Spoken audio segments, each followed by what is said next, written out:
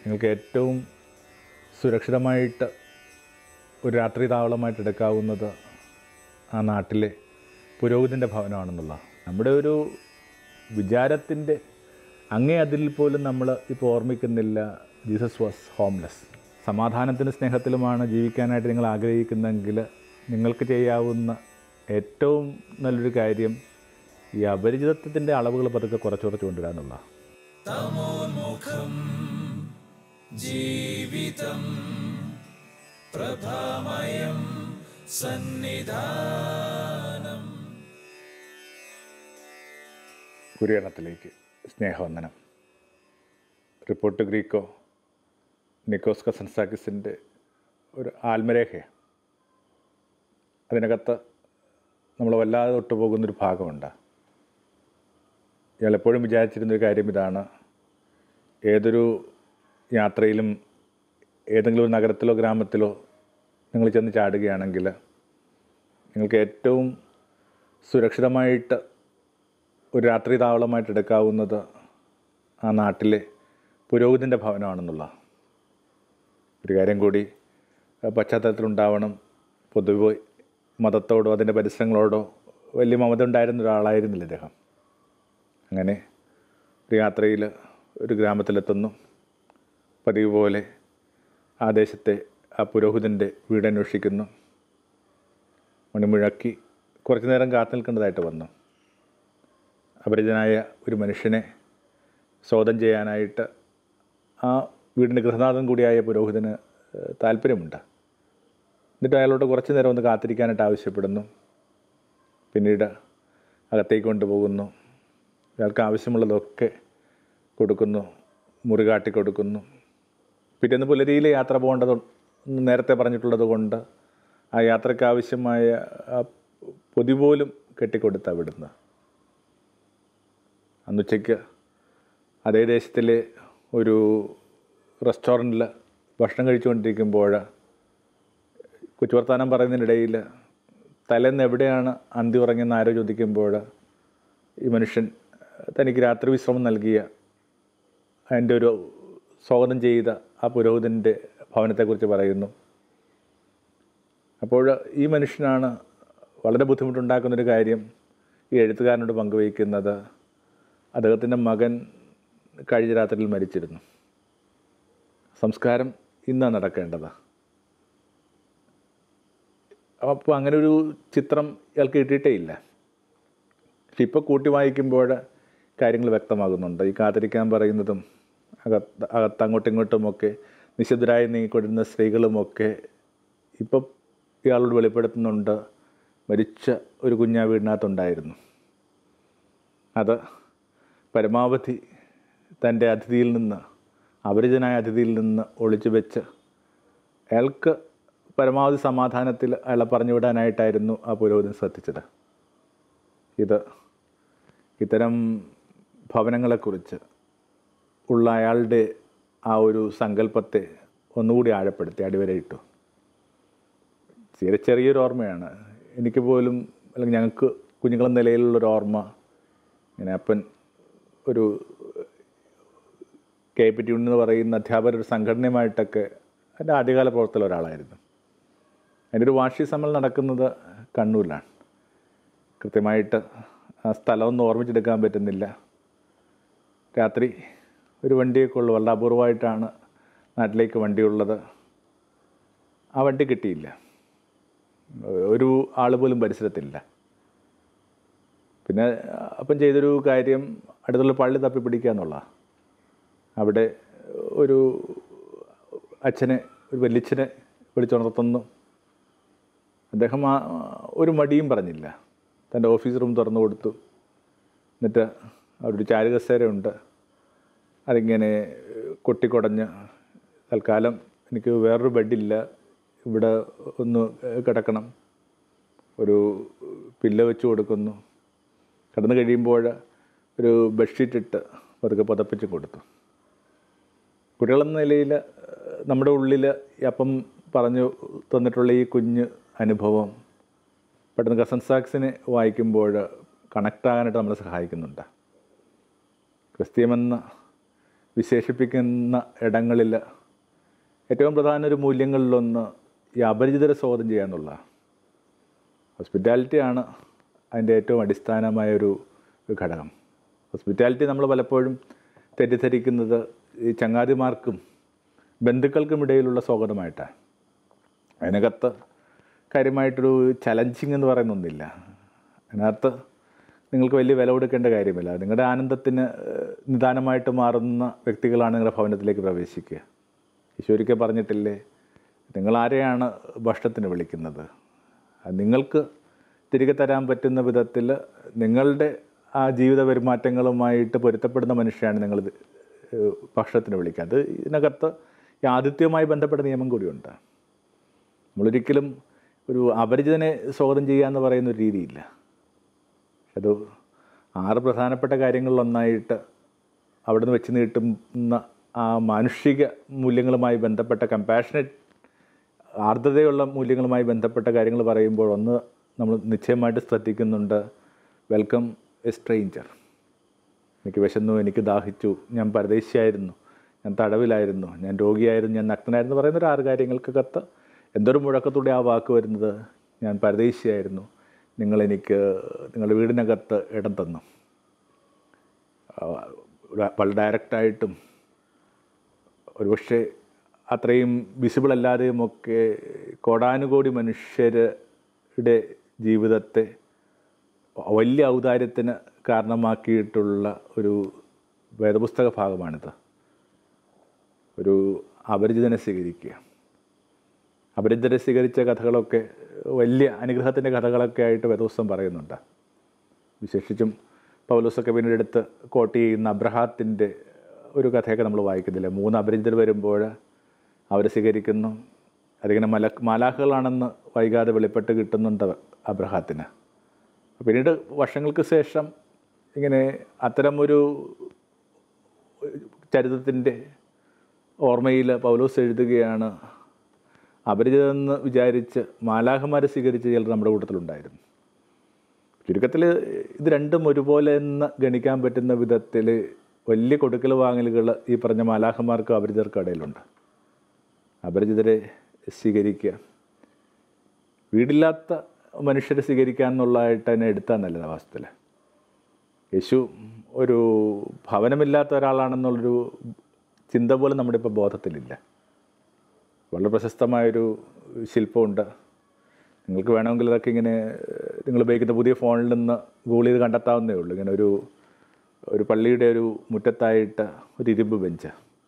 അതിനകത്ത് ഒരാളിങ്ങനെ ചുണ്ടുകൂടി കിടപ്പുണ്ട്. അങ്ങനെ പുതച്ചുമൂടി കിടപ്പുണ്ട്. യൂറോപ്പിലൊക്കെ ഉള്ളൊരു സാധാരണ കാഴ്ച കണക്ക്. ഒരു ഇത്തിരി പുതപ്പ് മാറിയിരിക്കുന്ന ആളുടെ കാലിന്റെ ആ ഒരു വക്കിന്നാണ് ആ കാൽപാദത്തിലേക്ക് ഉറ്റു നോക്കുമ്പോൾ അതിങ്ങനെ ഒരു ആണിപ്പാടുള്ള കാൽപാദമാണ് യേശു ഈ ചുണ്ടുകൂടി കിടക്കുന്നത്. ആ ശില്പത്തെക്കുറിച്ചല്ല പറയാനായിട്ട് ശ്രമിക്കുന്നത്. ആ ശില്പവുമായി ബന്ധപ്പെട്ട ഒരു ട്രിവിയലായൊരു ഒരു വിചാരമുണ്ട്. അതുമായിട്ട് ബന്ധപ്പെട്ട ചില കൊച്ചു വർത്തമാനങ്ങളുണ്ട്. അതിങ്ങനെയാണ് ഈ ശില്പം ഒരിടത്ത് കൊണ്ടുപോയി ഉചിതമായൊരിടത്ത് കൊണ്ടുപോയി പ്രതിഷ്ഠിക്കാനായിട്ട് ആഗ്രഹിച്ച അതിന്റെ ശില്പിക്ക് ഇങ്ങനെ പല പള്ളികൾക്കകത്തുനിന്നും കൃത്യമായിട്ട് റിജക്ഷൻ കിട്ടിയെന്നാണ് പറയുന്നത് പള്ളിക്കകത്ത് വെക്കാൻ പോലും അല്ല കേട്ടോ ഇത്. വലിയ ഇതുള്ള പുറമുള്ള വലിയ ക്യാമ്പസുള്ള പള്ളിയുടെ ഏതെങ്കിലും ഒരു കോണൽ മതിയായിരുന്നു. അതായിരുന്നു ആ ചിത്രത്തിന്റെ ഏറ്റവും കൃത്യമായൊരു ഒരു പ്ലേസ്മെന്റ് അല്ലെങ്കിൽ ഈ ശില്പത്തിന്റെ ഏറ്റവും കൃത്യമായ ഇടം ഏതെങ്കിലും മൂലക്ക് മതി. എന്നിട്ട് ഇത്രയും ഇടമുള്ള ഇത്രയും മുറ്റമുള്ള ഒരു പള്ളിയുടെ ഒരു മൂലയ്ക്ക് പോലും അത്തരം ഒരു ചിത്രം വേണമെന്ന് ആരും ആഗ്രഹിച്ചിട്ടില്ല. ഒടുവിൽ ആരോ ഒരു കൂട്ടർ വളരെ ബെനവളന്റായിട്ട് തങ്ങളുടെ പള്ളിമുറ്റത്ത് ഈ ശില്പം സ്ഥാപിക്കാനായിട്ട് എന്റെ ശില്പി അനുഭവിച്ചിട്ടുള്ള. പറഞ്ഞു വരുന്നത് ശില്പവും ശില്പിയുമായി ബന്ധപ്പെട്ട കാര്യങ്ങളല്ല. നമ്മുടെ ഒരു വിചാരത്തിന്റെ അങ്ങേ അതിൽ പോലും നമ്മൾ ഇപ്പോൾ ഓർമ്മിക്കുന്നില്ല ജീസസ് വാസ് ഹോംലെസ് ഞാൻ അലഞ്ഞു കിടന്നിരുന്ന അപരിചിതനായൊരു മനുഷ്യനായിരുന്നു എന്ന് എവിടെയാണ് നിന്റെ വീടെന്ന് ചോദിക്കുമ്പോൾ എന്താണ് പറയുന്നത്? കുരുവിക്ക് കൂടുണ്ട് കുറുനരിക്ക് മാളവുമുണ്ട് എനിക്ക് വീടില്ല.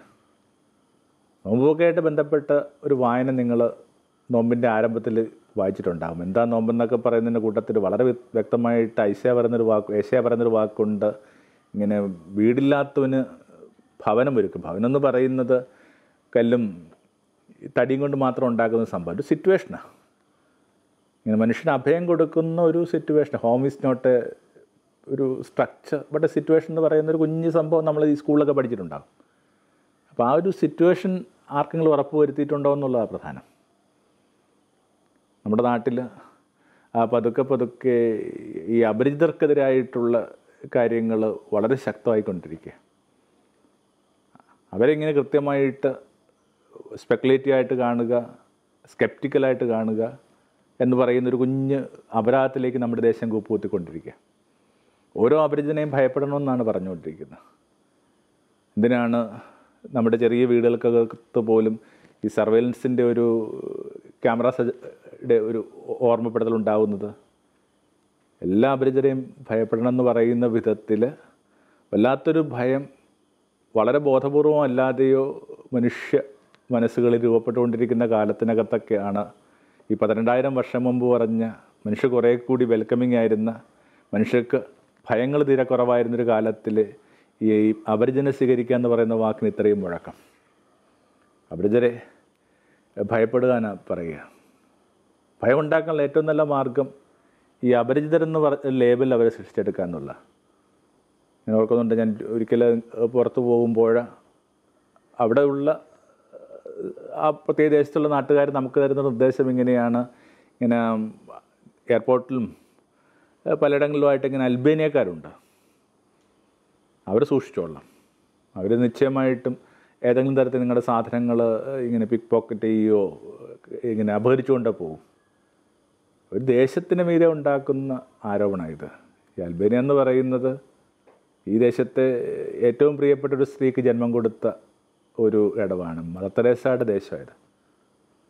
അത്രയും കരുണയുടെ ദൂതക്കോളൊരു നാട്ടിനകത്തുനിന്ന് ഒരു സമൂഹത്തെ അങ്ങനെ കൃത്യമായിട്ട് ചാപ്പുകുത്തുന്ന രീതിയിലുള്ള ഭയങ്ങൾ സൃഷ്ടിക്കപ്പെട്ടുകൊണ്ടിരിക്കുന്ന കാലം. ഇതിന്റെ പല വേർഷൻസ് സംഭവിച്ചുകൊണ്ടിരിക്കുന്നുണ്ട്. അപ്പോൾ ഈസ്റ്ററിന്റെ സമാധാനത്തിന് സ്നേഹത്തിലുമാണ് ജീവിക്കാനായിട്ട് നിങ്ങൾ ആഗ്രഹിക്കുന്നതെങ്കിൽ നിങ്ങൾക്ക് ചെയ്യാവുന്ന ഏറ്റവും നല്ലൊരു കാര്യം ഈ അപരിചിതത്വത്തിന്റെ അളവുകൾ പതുക്കെ കുറച്ച് കുറച്ച് കൊണ്ടുവരാനുള്ള കൂടുതൽ സംസാരിക്കുക കൂടുതൽ ഇടപെടുക കൂടുതൽ പരിസരങ്ങൾ ഷെയർ ചെയ്യുക എന്നുള്ളതൊക്കെ ആയിരിക്കും ഒരുപക്ഷെ കുറേ കൂടി യേശു സജീവമായി നമ്മുടെ കാലത്ത് നിലനിൽക്കാനുള്ള ഏറ്റവും നല്ല വഴിയെന്ന് തോന്നുന്നു. നോർത്ത് നോക്കിക്കേ ഉയർപ്പിന് ശേഷം എങ്ങനെയാണ് യേശു തന്റെ മാനിഫെസ്റ്റേഷൻ നടത്തുന്നത്? യേശു എങ്ങനെയാണ് തന്നെ തന്നെ വെളിപ്പെടുത്തുന്നത്? അത് കൃത്യമായിട്ട് ഇങ്ങനെ അപരിചിതത്തിലൂടെയാണ്. ഇടത്ത് പോലും നമ്മൾ വായിക്കുന്ന ഒരു തരം തിയോഫനി എന്ന് പറയുന്ന കാര്യത്തിലേക്ക് ഈ ഉദ്ധിതനായ യേശു പോകുന്നില്ല. ഉയർപ്പിന് മുമ്പൊക്കെ അത് സംഭവിച്ചിട്ടുണ്ട്. നമ്മൾ വായിക്കുന്നില്ല ഇങ്ങനെ പ്രാർത്ഥിച്ചുകൊണ്ടിരിക്കുമ്പോൾ സൂര്യനെ കണക്ക് ജ്വലിക്കുന്ന യേശുവിനെ കുറിച്ചൊക്കെ. അപ്പോൾ ഒരു കൃത്യമായ ദൈവിക ആവിഷ്കാരമൊക്കെ നടക്കുന്നുണ്ട്. അപ്പോൾ മനുഷ്യനായിരിക്കുമ്പോൾ പോലും ദൈവിക ആവിഷ്കാരങ്ങളുടെ ഒരു പശ്ചാത്തലമുള്ള ഒരു നാമം ഈ ഉത്ഥാനത്തിന് ശേഷം എത്ര കൃത്യമായിട്ടാണ് ഈ സാധാരണക്കാരുടെ ഒരു ഭാഗമായിട്ട് മാറുകയും വളരെ സാധാരണക്കാരൻ നിലയിൽ അവനെ തെറ്റിദ്ധരിക്കുകയും ഒക്കെ ചെയ്യുന്ന കഥകൾ എന്തുമാത്രമാണ് സുവിശേഷം അല്ലെങ്കിൽ എല്ലാ കഥകളും അങ്ങനെ തന്നെ. അതിന് ശേഷമുള്ള യേശുവിന്റെ എല്ലാ അപ്പിയറൻസും എടുത്തുനിന്ന് എടുത്തു നോക്കിക്കൊള്ളുക. അത് ആരംഭം തൊട്ടേ അങ്ങനെയാണ്. മറിയം ഇവനെ കണക്കാക്കുന്നത് ഒരു തോട്ടക്കാരനായിട്ടാണ്. തോട്ടക്കാരൻ എന്ന് പറയുമ്പോൾ നമ്മൾ വിചാരിക്കുന്ന പ്ലാന്റർ അല്ല കേട്ടോ. ഈ തോട്ടപ്പണിക്കാരൻ നിലയിലാണ്. ആദ്യകാല ചിത്രകാരന്മാരൊക്കെ അത് വളരെ അക്ഷാർത്ഥത്തിലെടുക്കുകയും ഇങ്ങനെ കയ്യിലൊരു ഷവലൊക്കെ ആയിട്ട് നിൽക്കുന്ന യേശുവിന്റെ ചിത്രമൊക്കെ വരച്ച് ഇത് ക്രിസ്ത്യൻ ആർട്ടൊക്കെ നിങ്ങൾ ഒന്ന് പരിശോധിച്ച് ഞാൻ കിട്ടും. വളരെ അക്ഷാർത്ഥത്തിലെടുത്തു എന്തായാലും ഈ സൂര്യവെളിച്ചത്തിൽ നിൽക്കുന്ന ഒരു മനുഷ്യന്റെ എന്തോ ചില കരിഞ്ഞു പോകുന്ന ബോഡി ലാംഗ്വേജ് മനുഷ്യനുണ്ട്. അപ്പോൾ അത്രയും കൂലിപ്പണിക്കാരനായിട്ടാണ് വെളിപ്പെട്ട് കിട്ടുന്നത് മനസ്സിലാക്കിയ കുറേ കൂടെ നല്ലതാണ്.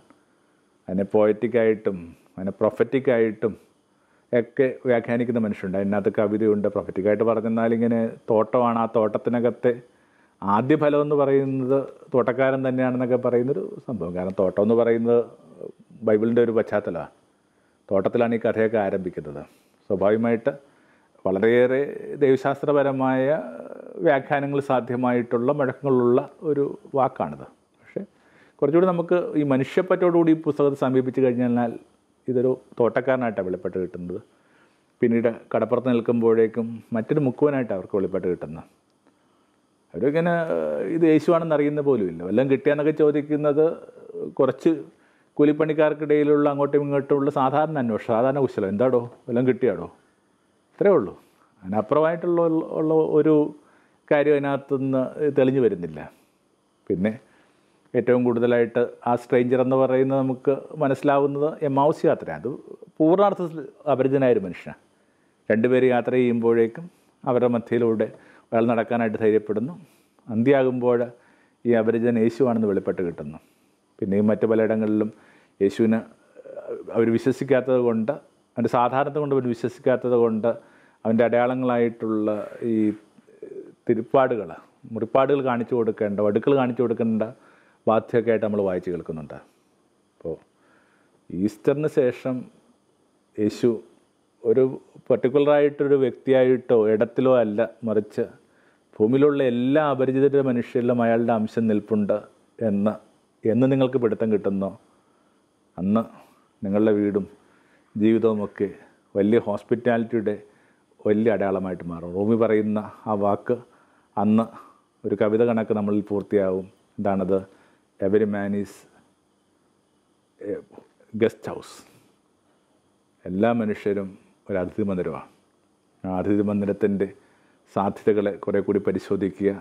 ആ അതിഥി മന്ദിരത്തിന് കുറേ കൂടി ജാലകങ്ങളുണ്ടാവട്ടെ ഓരോ ജാലകപ്പടിയിലും കുറേ മെഴുതിരികളുണ്ടാവട്ടെ ലോകം പകയും വിദ്വേഷവും വെറുപ്പും അകൽച്ചയും ഒക്കെ വിൽക്കുന്ന കാലത്ത് നമുക്ക് സത്യത്തിന്റെയും സ്നേഹത്തിന്റെയും ചന്തയിൽ സൗഹൃദം അങ്ങോട്ടും ഇങ്ങോട്ടും കൈമാറി ഭംഗിയുള്ള ലോകം സൃഷ്ടിക്കാമെന്നുള്ളത് കൂടിയാണ് ഒരു ഉയർപ്പിന്റെ വിചാരം.